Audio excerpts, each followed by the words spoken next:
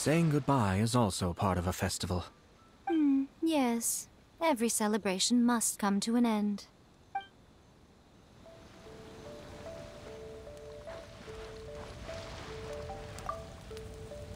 Are you enjoying yourself?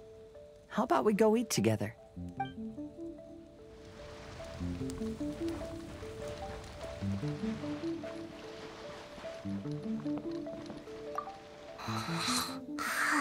Bowl of ramen shouldn't hurt, right?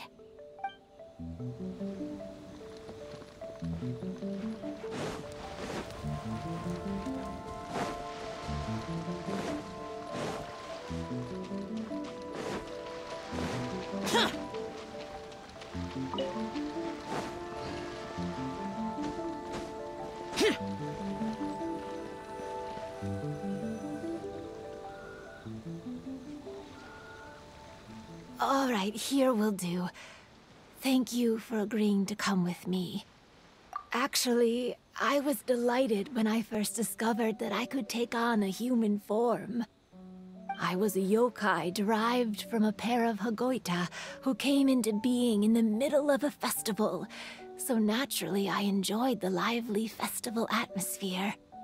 I wanted to go to more festivals, become friends with humans, and play Akitsu Yugen with them.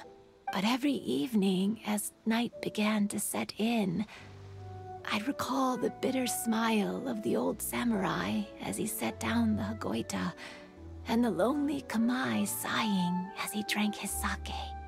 Then I would wonder, if I became friends with a human, would that person experience the same melancholy in the future? As a result, I was convinced that I couldn't do it. I told myself I would not repeat that same mistake.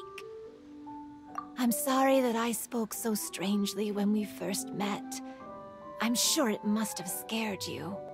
I expected you to flee in terror. But when we met again, you acted like you had no trouble being around me.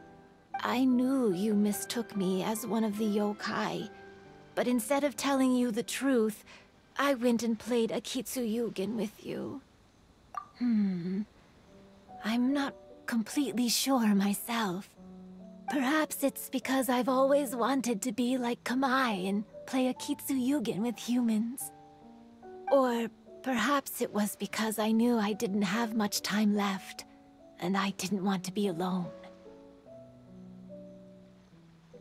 Anyway, thank you for taking the time to play with me. When we played Akitsu Yugen, Paimon said the loser would have to grant the winner a wish. At the time, I wished for us to never cross paths again. However, you still came and found me. Meaning, you never granted my wish.